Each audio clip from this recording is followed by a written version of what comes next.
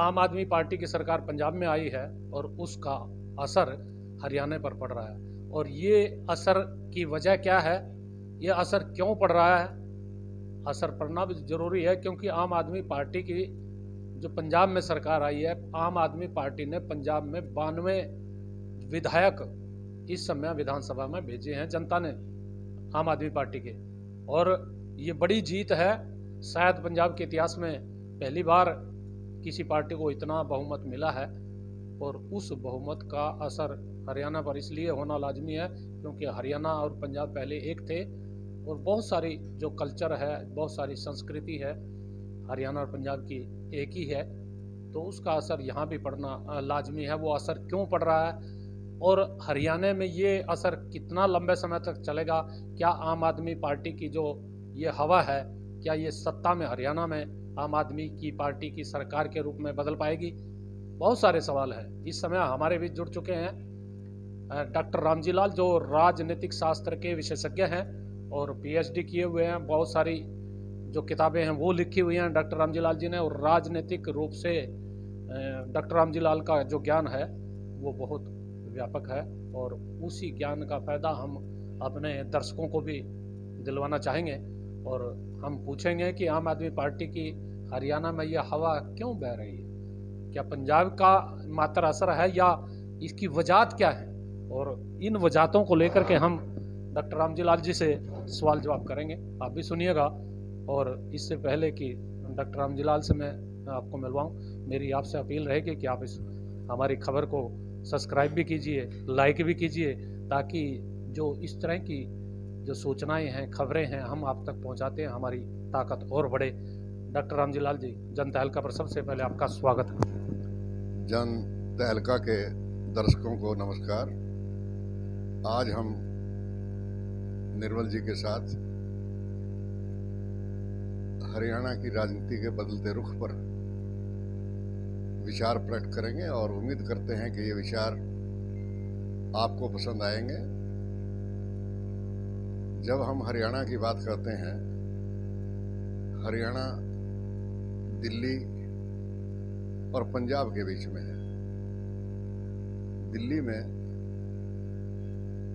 हरियाणा पुत्र केजरीवाल मुख्यमंत्री हैं, आप पार्टी के। और पंजाब में जिस किस्म की अभूतपूर्व विजय आम पार्टी ने प्राप्त की है, जन समर्थन प्राप्त किया है, उसका ज़्यादा प्रभाव हमें आने वाले समय में हरियाणा की राजनीति में पड़ता हुआ दिखाई देता है और इसकी विधानसभा में भी गूंज उठी है। सभा में भी गूंज उठी है। मैं आपको बता दूँ कि दादा गौतम जो विधायक हैं, वो उन्होंने स्पष्ट रूप से कहा है। मैं वो शब्द दोहराना नहीं चाहता, लेकिन उन्होंने स्पष्ट रूप से कहा कि यदि आप सुधरोगे नहीं तो हरियाणा में भी आम आदमी पार्टी के जो लाला जी केजरीवाल हैं, वो आप लोगों को रगड़ देंगे। ये नहीं, वो रगड़ने वाली जो भाषा है, उस पर तो हम बाद में जाएँगे। हम वो जानना ये चाह रहे हैं कि सबसे पहले डॉक्टर रामजीलाल जी, आप बहुत सारा ज्ञान रखते हैं राजनीति का। सबसे पहले तो जो पंजाब है, पंजाब में आम आदमी पार्टी की आखिर इतनी प्रचंड जीत हुई क्यों है? आप क्या मानते हैं? कारण क्या रहे? देखिए, किसी भी पार्टी की जीत के बहुत से कारण होते हैं, लेकिन सरसरी तर्ज पर। मोटा मोटी अगर हम देखें, इलेक्शन जीतना और आंदोलन, या जुलूस में भीड़ इकट्ठी करना, या मीटिंग के अंदर भीड़ इकट्ठी करना, ये तो तमाशा होता रहता है। लेकिन आम ये देखा गया है इन चुनाव में कि भीड़ जो है, वो वोटों में कन्वर्ट नहीं हुई। पंजाब के अंदर अगर हम राजनीतिक चेतना के पॉइंट ऑफ़ से देखें तो पंजाब के अंदर किसान आंदोलन का इतना प्रभाव था, इतना प्रभाव था कि किसान के इतने एक्टिव थे कि उन्होंने कानून आने से पूर्व ही अध्यादेशों के बाद आप लोगों को हमने उस समय चर्चा भी की थी। अध्यादेशों के बाद आंदोलन प्रारंभ कर दिया और यहाँ तक अमृतसर की जेल के दरवाजे पर छः साल की लड़की जो है, वो जेल जाने के लिए तैयार थी। पंद्रह सौ गाँव को खाली करा लिया गया प्रचार किया गया और राष्ट्रीय राजनीति में बदलाव भी आया चेतना भी बढ़ी। लेकिन उसके बावजूद भी पंजाब के अंदर किसान जो मंच था वो कोई अल्टरनेटिव नहीं दे सका। यानी यानी सीधा सीधा जो किस, किसानों का आंदोलन था उसकी धूम तो बहुत हुई गूंज भी बहुत हुई। लेकिन ना तो धूम का असर हुआ चुनाव में ना गूंज का हुआ। फिर फिर वहाँ असर किस चीज़ का पड़ गया ये बताओ। हाँ अब इसके कई कारण हो सकते हैं। मोटा तौर पर मैं ये कहूँगा कि परिवर्तन प्रकृति का नियम है। ये बहुत महत्वपूर्ण बात है। आज से दस साल पहले जो हमारी सेहत थी वो आज नहीं है। इसी तरीके से राजनीति की सेहत जो दस साल पहले थी या पाँच साल पहले थी, वो धीरे धीरे बदल रही है और बदलनी भी चाहिए। नहीं भी चाहिए। लेकिन ये जो बदलाव की आप बात कर रहे हैं, ये बदलाव तो फिर जो दूसरे दल थे, उन पर भी आना चाहिए था। देश में राज जो है, भारतीय जनता पार्टी का, पंजाब की हम बात कर रहे हैं। वहाँ पंजाब में ये पाँव पसार रही थी भारतीय जनता पार्टी। कई दलों से गठबंधन करके सत्ता में भी आई है। बदलाव यदि कांग्रेस पार्टी की वहाँ सरकार थी तो फिर जो अकाली दल है, अकाली दल बादल, फिर वो सत्ता में आ जाने चाहिए थे। वो उन्होंने सत्ता भी छोड़ी है केंद्र में जो मंत्री थी उनकी, वो वो हरप्रीत बादल, क्या नाम उनका हरसिमरन कौर बादल। उन्होंने भी अपनी जो गद्दी है वो छोड़ी थी सिर्फ़ इसी में कि सत्ता है कि किसानों की जो हवा है उसके साथ आप भी तैर जाएँगे।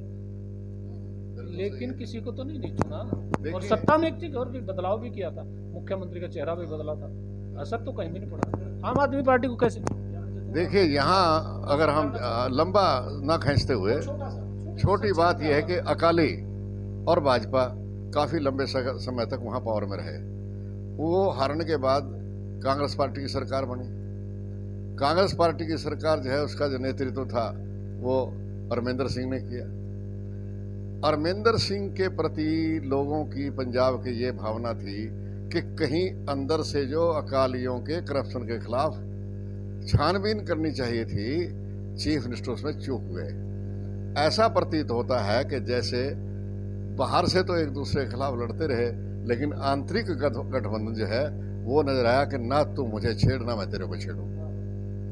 ना मुझे छेड़, ना मैं तेरे को छेड़ूँगा। लेकिन जनता ने तो छेड़ दिया। जनता ने छेड़ा इसलिए है कि जनता को जो आप बात कह रहे हैं, लग गया। भाई, ये दोनों तो मिले हुए हैं, फिर अल्टरनेट क्या है? यानी लोगों को विकल्प चाहिए था और वो विकल्प आम आदमी पार्टी के रूप में लोगों को वहाँ मिल गया और शायद इसीलिए वहाँ प्रचंड जीत हुई। और उस प्रचंड जीत का हरियाणा में असर क्यों पड़ रहा? है मैं ये भी जानना चाह रहा हूँ हमारे दर्शक जानना चाहते हैं आखिर। जब आंधी चलती है वो आंधी ज़रूरी नहीं कि हरियाणा में पैदा हो वो आंधी कहीं दफ़ा वेस्ट से भी चलती है हवाएँ भी चलती हैं बारिश भी चलती है और हरियाणा पर उसका अटैक होता है पंजाब पर भी होता है। ये चुनावी आंधी जो थी लाजमी तौर पर हरियाणा पर असर डालेगी। कारण है उसके क्योंकि हरियाणा के जो परंपरागत दल हैं, हम सबसे पहले कांग्रेस को ले लें। आपने पहले भी इस चुनाव के बाद, लोकसभा के चुनाव के बाद भी और उसके बाद भी इंटरव्यू किया था और हमने वो कारण और थे। लेकिन वो कारण जो उस समय मेन कारण था कांग्रेस पार्टी का, हरियाणा में इस समय अगर वैकल्पिक होना चाहिए तो कांग्रेस पार्टी होनी चाहिए। क्योंकि कांग्रेस पार्टी के तीस से अधिक विधायक हैं और चौधरी भूपेंद्र सिंह हुड्डा जो है वह विधायक दल के लीडर भी हैं। पार्लियामेंट्री डेमोक्रेसी में असूल ये होता है कि चीफ मिनिस्टर का जो साया है, छाया है, वो होता है लीडर ऑफ़ अपोजिशन। अगर चीफ मिनिस्टर हटता है तो लीडर ऑफ़ अपोजिशन जो है ना, वो चीफ मिनिस्टर बनता है। लेकिन अफसोस की बात यह है कि कांग्रेस पार्टी ने 2014 और उसके बाद जो 2019 का लोकसभा चुनाव और अपना हरियाणा के चुनाव से हार के कोई सबक नहीं सीखे, क्योंकि कांग्रेस पार्टी जो है, आम आदमी इस चीज़ से, कांग्रेस का समर्थक होने के बावजूद भी इस चीज़ से परेशान होता है कि कोई हुड्डा ग्रुप है, कोई बिश्नोई ग्रुप है, कोई जो है ना, किरण ग्रुप है, और लोगों को इन ग्रुपों के बीच में कोई आशा की किरण दिखाई नहीं देती। किरण ज़रूर है। किरण ज़रूर है, लेकिन अध्यक्ष तो कुमारी शैलजा है। वो आप कमांडर यानी जो है हरियाणा में कांग्रेस के कमांडर लेकिन कमांडर का इतना प्रभाव नज़र नहीं आया हाँ मैं शैलजा को अच्छी पढ़ी लिखी विद्वान नेता मानता हूँ लेकिन अफसोस की बात है कि उसने अध्यक्ष बनने के बाद जो कांग्रेस के संगठन को मज़बूत करना चाहिए था गाँव से लेकर पंचकुला तक वह पूर्णतया फेल रही है और अगर आइंदा भी कांग्रेस पार्टी इसी प्रकार के नेताओं को अध्यक्ष बनाती है तो इसका भविष्य जो है खतरे में है। मैं डॉक्टर साहब, बीच में एक सवाल मेरा और भी आपने बात करी है, संगठन की बात आपने की है। संगठन की तो बुरी हालत यहाँ आपको नज़र आ रही है शैलजा जब से बनी है, इससे पहले बल्कि अशोक तंवर होते थे, यानी तब से लेकर के संगठन आज तक बना ही नहीं, करीब सात साल हो चुके हैं कांग्रेस पार्टी के संगठन को लेकर ना ब्लॉक में प्रधान है, ना ज़िले में प्रधान है। यानी बिना संगठन के ही चल रही है। वो ये सोचते हैं ना कि लोग परंपरागत तरीके से वोट देंगे वो जमाना जेल या परिवर्तन प्रकृति का नियम है। परंपरागत मतदाता ही जो है बहुत बड़ा मतदाता होता है प्रत्येक देश में। लेकिन वो टूट रहे हैं। और जब तक संगठन नहीं बनेगा आम आदमी तक पहुँच नहीं होगी। अब अभी पता लगा है कि मेंबर बना रहे हैं। अब ये जो ऊपर से लादे हुए नेता होते हैं इम्पोज लीडर जनता में प्रभाव। इनका जनता में प्रभाव नहीं होता। और जनता में जब तक प्रभाव नहीं होगा जनता उसके साथ नहीं लगेगी ऐसे हालात। देख रहे हैं, पंजाब में भी देखे हैं, अब हरियाणा में भी वही हम बात कर रहे हैं, आम आदमी पार्टी की हवा क्यों बह रही है? अब वह हवा का डॉक्टर साहब से जानना चाहेंगे। आखिर ये एक चीज़ मैं आप दर्शकों बीच में जो आपको समझाना चाह रहा हूँ मैं, जहाँ तक मेरी राजनीतिक समझ है, वो जो सत्तासीन पार्टी होती है, उसके प्रति लोगों का गुस्सा होता है। गुस्सा इस बात के लिए कि जो वायदे किए जाते हैं और जो लोगों के बीच में जाकर के तरह तरह के वोट के लिए, जो उनको लुभाया जाता है, वो जब वायदे, बातें पूरी नहीं होती तो फिर जब सत्तासीन लोगों से लोग बात करते हैं, जब वो पूरे नहीं होते तो लोग उनसे नाराज़ होते जाते हैं। और जब लोग नाराज़ हो जाते हैं तो फिर वो मुड़ते हैं, जो उस पार्टी को, यानी जो सत्ता में बैठी है, उसको हरा कौन सकता है? उधर उधर रुक कर लेते हैं लोग। जब यूँ दिखता है कि जो हराने वाली पार्टी है, उसमें ताकत इतनी नहीं है तो फिर वो दूसरी तरफ़ भी मुड़ जाते हैं। जैसा कि हरियाणा में हो रहा है, हरियाणा में यदि बात करें हम इस समय तो हरियाणा में इस समय जो भारतीय जनता पार्टी है, वो जजपा के साथ सांझी सरकार उसकी चल रही है। और यहाँ यदि भारतीय जनता पार्टी और जजपा का कोई विकल्प हो सकता है तो कांग्रेस है। डॉक्टर साहब ने बताया कि ये गुटबंदी का शिकार है तो कौन बचता है? इसके बाद हरियाणा में विपक्ष की भूमिका, इनेलो के पास जाती है, लेकिन इनेलो का मौजूदा जो स्वरूप है, उसका एक विधायक केवल बचा हुआ है विधानसभा में। ऐसे में कांग्रेस के पास एक अवसर था, और वो अवसर आखिर क्यों जनता को पसंद नहीं आ रहा? जनता क्यों पसंद नहीं कर पा रही है? जरा डॉक्टर साहब, ये भी हमारे दर्शकों को समझाइए। देखिए, जनता को ये नहीं कि कांग्रेस से भी गिरना है। जनता को पसंद इसलिए नहीं आ रहा है कि जब एक परिवार वह अलग अलग टुकड़ों में बंट जाए तो वहाँ तरक्की नहीं हो सकती। यही पहल कांग्रेस का है। अब मान लीजिए मैं अगर हुड्डा ग्रुप को ज्वाइन कर लेता हूँ तो, तो चा, चार ग्रुप जो हैं वो नाराज़ हो जाएँगे। और ऐसे बहुत से विद्वानों ने ब्यूरोक्रेट्स ने कांग्रेस पार्टी को ज्वाइन किया रिटायरमेंट के बाद लेकिन उनका कहीं नाम तक नहीं आता। कारण क्या है? क्योंकि अगर वो एक ग्रुप का माना जाता है तो बाकी जो चार ग्रुप हैं, वो उसका विरोध करते हैं तो ये देखिए, हमें इस बात का कोई नहीं है कि कौन जीतता है, कौन हारता है, हमारा अपना विचार है, और विचार यह है कि हमें तो अपनों ने गहरा, मारा गैरों में कहाँ दम था। कांग्रेस पार्टी को दुश्मनों की ज़रूरत नहीं है। कांग्रेस पार्टी को अपोजिशन पार्टी क्रेडिट ले, बीजेपी क्रेडिट ले, या दूसरी पार्टी क्रेडिट ले, कि हमने इसको हरा दिया। नो, कांग्रेस पार्टी अगर हारेगी या हार रही है तो वह अपनों की वजह से हार रही है गैरों में दम नहीं है। अपनों की वजह से हार रही है गैरों में दम नहीं है। लेकिन ये जो आम आदमी पार्टी की हम बात कर रहे हैं हरियाणा में ये आम आदमी पार्टी के प्रति जो लोगों का रुझान बढ़ रहा है जो मैंने आपको बात बताई थी एक तो आपने कांग्रेस का विकल्प बताया था कांग्रेस है दूसरा इनेलो थी। क्या ये जो विकल्प है इसको लोग पसंद कर रहे हैं या इस जो ये मौजूदा सरकार है इससे निराश हैं? क्या मान रहे हैं आप? देखिए जो सिस्टम होता है ना वर्तमान सिस्टम व्यवस्था। और व्यवस्था में जब तक आर्थिक सुधार नहीं होंगे व्यवस्था में जब तक करप्शन की दीमक लगी रहेगी अब हर रोज घोटाले। हम मान लीजिए आप कहते हैं जी मुख्यमंत्री बहुत ईमानदार आदमी है। लेकिन मुख्य नहीं कहता खुद मुख्यमंत्री भी कहते। नहीं मुख्यमंत्री कहते हैं। उनके उनके उनने उनके समर्थक उनको चाहते हाँ। वो तो देखो ऐसा है कि मान लेते हम मुख्यमंत्री में ईमानदार लेकिन अगर मुख्यमंत्री की ईमानदारी की छत्तर छाया में डाकू पनप रहे हों सरकारी खर्च दफ्तरों में बैठे हुए, तहसीलदारों की पूरी की पूरी टीम अगर मुख्यमंत्री में हिम्मत है और वो दोबारा सत्ता में आना चाहते हैं तो लाजमी तौर पर जितने तहसीलदार, पटवारी, कानूगो और अन्य आधारित करप्शन में फंसे फंसे हैं, उनके ऊपर मुकदमा तो चलाया ही जाए। उनकी संपत्तियों को, उनके रिश्तेदार, परिवार, भाई, भतीजा, बेटा और पत्नी की संपत्तियों को जब्त करके जेल के अंदर डाल देना चाहिए। सख्त आपने लहजे में बात किया, लेकिन लहजा सख्त भी होना चाहिए। आपने दर्शकों एक चीज़ और बता दें, हरियाणा के मुख्यमंत्री करनाल से विधायक भी हैं। और करनाल से जिस समय प्रथम बार ये चुने थे तो चुनने के दौरान जो लोगों से वायदे कर रहे थे, मैं आपको याद दिलाना चाहता हूँ कि करनाल में हमें याद है वो बातें, जब मुख्यमंत्री जी सी आम व्यक्ति होते थे। मुख्यमंत्री तो बाद में बने, विधायक बनने के बाद मुख्यमंत्री बने। लेकिन उस समय जब वोट मांगते थे तो दो बातें प्रमुख रूप से उठाते थे। मैं दर्शकों आपको सम, याद दिला दूँ। एक तो ये जो हमारे नज़दीक कल्पना चावला मेडिकल कॉलेज है, इसका बड़ा शोर हुआ, बड़ा, बड़े इसके लिए संघर्ष भी हुए, बड़े आंदोलन भी हुए। दूसरा, तहसीलों की बात करते थे। मुख्यमंत्री जी विधायक बनने से पहले वोट मांगते हुए ये कहते थे करनाल में जो कल्पना चावला है, इसकी हालत बहुत ख़राब है सुधारनी पड़ेगी हमें, क्योंकि लोगों को स्वास्थ्य की ज़रूरत है, और स्वास्थ्य तब मिलेगा जब यहाँ कोई अच्छा संस्थान होगा। और वो संस्थान अच्छा तो हो चुका, लेकिन सिर्फ़ रेफर सेंटर के रूप में पिछले सात सालों में यही हो रहा है यहाँ। कोई लोगों को उपचार नहीं मिल रहा। दूसरा, तहसीलों की बात हुई थी। जितनी तहसीलें हैं, तहसीलों में मुख्यमंत्री जी कहते हैं, भ्रष्टाचार बहुत हो रहा। खुलेआम भ्रष्टाचार है, रिश्वत खोरी है। लेकिन कुछ हालात शायद मुख्यमंत्री ने बदलने चाहे हैं। लेकिन ये दो तीन घटनाएँ, जैसे डॉक्टर साहब ने बताया, उनको डाकू तक के संज्ञा दी अधिकारियों को, यहाँ का करनाल का तहसीलदार पकड़ा गया है। करनाल का डी भी पकड़ा गया, जिन पर रिश्वत के बहुत मोटे मोटे आरोप लगे हैं। लाखों की बात हो रही है, लाखों करोड़ की बात हो रही है, सौ, कोई सौ करोड़ की बात कर रहा है, कोई कितने की बात कर रहा है, लेकिन संपत्ति कितनी है, वहाँ तो अभी सुई अटकी बीच में रुकी हुई है, दो को पकड़ा गया, बाकी मगरमच्छ तो भी बाकी हैं।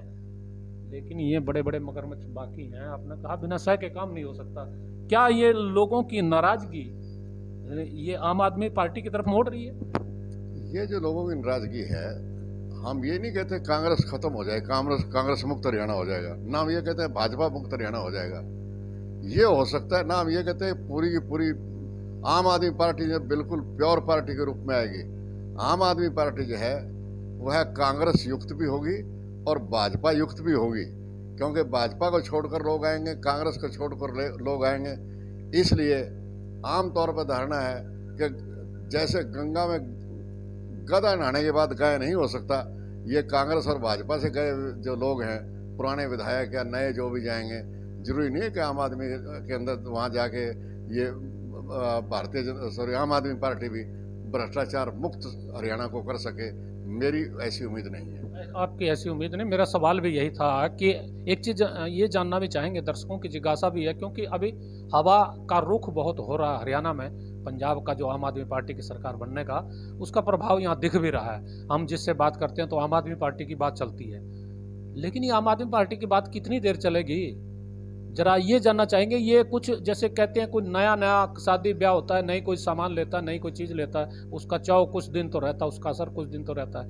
क्या ये, क्योंकि अभी तो चुनाव मेरे ख्याल में ढाई साल बचते हैं, हरियाणा में विधानसभा के, क्या ये उन चुनाव तक इसी तरह की हवा का जो रुख है वो रह पाएगा या और भी आंधी बन पाएगी या बीच में रुक पाएगी, आप क्या मानते हैं? आपकी सोच क्या है? देखिए, जो सत्ता पक्ष है, उसके विरुद्ध सत्ता विरोधी हमेशा होते हैं और होने भी चाहिए। अगर सत्ता का खिलाफत करने वाले लोग, चाहे वो कलमकार हैं, पत्रकार हैं, या इलेक्ट्रॉनिक मीडिया के अंदर काम करते हैं, अगर वो ये काम नहीं करते, जिस समय अधिकांश नहीं कर रहे हैं बिकाऊ हैं टिकाऊ नहीं है।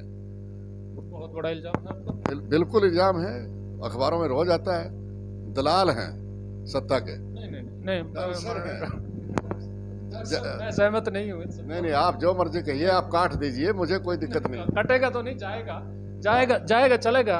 लेकिन लेकिन मैं इन शब्दों से सहमत नहीं हूँ क्योंकि क्योंकि हम लोग भी उनमें शामिल हैं। नहीं नहीं आप यदि आप दलाल की बात करेंगे तो मैं वो शब्द शब्द शब्द शब्द में थोड़ा सा मैंने सबको इंक्लूड नहीं किया। लेकिन हिंदुस्तान की जनता जानती है कि सत्ता के दलाल कौन कौन हैं। राष्ट्रीय मीडिया में ज़्यादा हैं और लोकल मीडिया में कम है और उन्होंने सत्ता की दिलाली करके डेमोक्रेसी को रहन करने का प्रयास किया जो कि बहुत खतरनाक ट्रेंड है। ये तो बर, ये यदि ये बात आपकी मान ली जाए तो फिर तो ये रुख भाजपा की तरफ़ मोड़ देना चाहिए उन्होंने। देखो ऐसा है देखिए। आम आदमी पार्टी तो खत्म ऐसा है आम आदमी पार्टी खत्म कैसे? मोड़ पत्रकार अब ऐसा ऐसा जो है ना पंजाब के अंदर अखबारों को ऐड मिला करेगी मीडिया को ऐड मिला करेगी तो उसका असर जो है ना लाजमी तौर पर अखबार हम भी तो पंजाब का पढ़ते हैं ना तो आम आदमी के ऊपर उसका असर भी पड़ेगा। पड़ेगा लेकिन मेरा सवाल ये था ये क्या ये जो हवा है आम आदमी पार्टी की जो बह रही है हरियाणा में शुरू हुई है क्या ये बढ़ेगी? या कुछ समय के बाद आपको क्या लग रहा है? आपका अनुमान क्या है? आपकी समझ क्या है? क्या ये रुक पाएगी? मेरी समझ ये है कि अगर कांग्रेस पार्टी के पास अभी मौका है अगर ये लिमिटेड समय में महीने दो महीने के अंदर अपना सुधार करे संगठन बनाए और चुनाव के ज़रिए नेताओं को चुने स्थान, गाँव के स्तर से लेकर और राष्ट्रीय स्तर तक। तो ऊपर से लादावा नहीं होना चाहिए। चाहे पार्टी टूट जाए, वो अलग है, जहाँ मर्ज़ी जाए, लेकिन निखार होना उसमें ज़रूरी है। दूसरी बात, अब इनैलो को भी अपना सुधार करना चाहिए। तथा भारतीय जनता पार्टी जो है, इसको भी हम ये कहेंगे कि भैया, हवा हवाई मत करो। आप हिंदू मुस्लिम का जो जो दुष्प्रचार बार बार किया जा रहा है उसको बंद करो क्योंकि इस इससे समाज में द्वेष भावना वोट तो आप जीत जाएँगे। हिंदू राष्ट्रवाद के पैसा जीतते रहे हैं। लेकिन देश जो है वो संविधान के द्वारा चलाया जाता बुलडोजर के द्वारा नहीं चलाया जाता। के द्वारा यानी हरियाणा में भी भारतीय जनता पार्टी को अपनी जो सोच अपनी सोच और अपने कार्य प्रणाली में बदलाव करने की ज़रूरत है। ज़रूरत बिल्कुल बदलाव की ज़रूरत है। अच्छा आखिर में आखिर में आप आपसे एक चीज़ जानना चाहेंगे कि आम आदमी पार्टी पे हवा की बात हम लोग कर रहे हैं। तो आम आदमी पार्टी की भी तो जिम्मेवारी उनके नेताओं की जिम्मेवारी तो बढ़ चुकी है कि लोग उन पर विश्वास कर रहे हैं। शायद इसीलिए हरियाणा में आम आदमी पार्टी की हवा बन रही है कि लोग उन पर विश्वास कर रहे हैं। वो ईमानदार है अच्छी छवि के लोग हैं। वो जो वो उम्मीदें पाले जनता पाले बैठी है उन पर वो खरा उतरेंगे। तो जिम्मेवारी तो इनकी भी बढ़ रही है देखिए कोई नेता यदि यदि- यदि मैं एक सवाल बीच में और जोड़ूँगा यदि यदि ये भी दूसरी पार्टियों की तरह इनका भी वही रवैया रहा तो फिर जनता की सोच कहाँ रहेगी? देखिए, ऐसा है। भगत सिंह की गाँव, पैतृक गाँव में जाके शपथ ग्रहण की है। और मैं ये पढ़ रहा था, अभी जब इन्होंने ओथ ग्रहण की, और उसके बाद भाजपा वाले भी वहाँ गए। एक तो भगत सिंह को कैच करने की चेष्टा कर रहे हैं, उसकी फिलॉसफी भी कैच कर लेना। भगत सिंह ने कहा था कि लॉर्ड इरविन के जाने के बाद अगर तेज बहादुर सप्रू आ जाए, वो लिबरल लीडर था उस समय। कोई फ़र्क नहीं पड़ेगा राजनीतिक व्यवस्था में। अगर केजरीवाल का बंदा मान आ गया और चन्नी चुनाव हार गया, कोई फ़र्क नहीं पड़ेगा जब तक आर्थिक व्यवस्था को नहीं बदलते। और पूंजीवादी व्यवस्था, नव पूंजीवाद, अडानी अंबानी का जो हिंदुस्तान की इकोनॉमी के ऊपर अटैक है, उसको केजरीवाल अगर नहीं रोकता तो मैं ये कहूँगा कि ये भी उन्हीं का, बी टीम का सदस्य है। का सदस्य है। अब कौन किसका सदस्य है ये दर्शकों? ये निर्णय तो आप करेंगे, लेकिन हमारा मकसद ये था कि आम आदमी पार्टी की जो जनता में हवा चल रही है, ये हवा कितनी बढ़ेगी, कहाँ तक पहुँचेगी, क्या रुकेगी, या और तेज होगी? हम इन सवालों को लेकर के डॉक्टर रामजीलाल से आप, आपके साथ बातचीत करा रहे थे। डॉक्टर रामजीलाल जी ने बड़े सुलझे हुए शब्द भी कहे, तीखे शब्द भी कहे, और कई संगीन आरोप भी जड़ दिए। ये निर्णय तो आपने करना है, लेकिन इस समय जो इन बातचीत का लबो लबाब निकला है कि आम आदमी पार्टी की हरियाणा में हवा के तीन प्रमुख कारण हमने इस बातचीत से समझे हैं। नंबर एक तो लोगों को जो सत्ता में बैठी हुई पार्टी है, उन पर विश्वास उठने लगा है, क्योंकि जिन उम्मीदों के साथ उनको सत्ता सौंपी थी, वो उम्मीदें पूरी नहीं हो पा रही हैं। दूसरा, जो इनको हराने के लिए सक्षम पार्टी नज़र आ रही थी वो कांग्रेस पार्टी उस पर भी लोगों को भरोसा नहीं नज़र आया, क्योंकि कांग्रेस पार्टी भी गुटों में बटी हुई है। डॉक्टर साहब ने जैसा बताया कि एक पार्टी के साथ, एक गुट के साथ कोई आदमी यदि शामिल कांग्रेस पार्टी में होता है तो दूसरा गुट नाराज़ हो जाता है। और दूसरे गुट को संभालता है तो तीसरा गुट आँखें दिखाने लग जाता है। तो फिर ये जो, ये नाराज़गी आँखें दिखाने में लोगों को ये लग रहा है कि इससे अच्छा विकल्प दूसरा देखा जाए कि पंजाब में असर है तो इसलिए आम आदमी पार्टी की तरफ़ लोगों का रुझान बढ़ रहा है और ये रुझान तब तक और बढ़ेगा जब तक लोगों का विश्वास आम आदमी पार्टी पर रहेगा। आम आदमी पार्टी के नेताओं को भी सतर्क रहना पड़ेगा, सजग रहना पड़ेगा और ये सोचना पड़ेगा कि वो कहीं इस हवा में कई गंदे कचरे को ना ले लें जिसकी वजह से उनकी छवि खराब हो जाए। तो बहुत सारे सवाल और बहुत सारी उम्मीदें और बहुत सारी आकांक्षाओं के बीच हम आपको छोड़ रहे हैं। आप अपने विचार कमेंट बॉक्स में ज़रूर दीजिएगा कि ये हवा आम आदमी पार्टी की आगे बढ़ेगी या भारतीय जनता पार्टी और जेजेपी अपने अंदर कुछ सुधार कर पाएगी, जनता की उम्मीदों पर खरा उतरने में कहीं उनको कोई जनता को आशा के किरण दिखा पाएगी या फिर कांग्रेस पार्टी उन सब बातों को भुला करके जब जनता में उनकी छवि जा रही है और कहीं एकजुटता का प्रदर्शन कर पाएगी? ये बहुत सारे सवाल हैं। इन्हीं सवालों के साथ मैं अपने सहयोगी पंकज के साथ इस समय करनाल से एम एस निर्मल।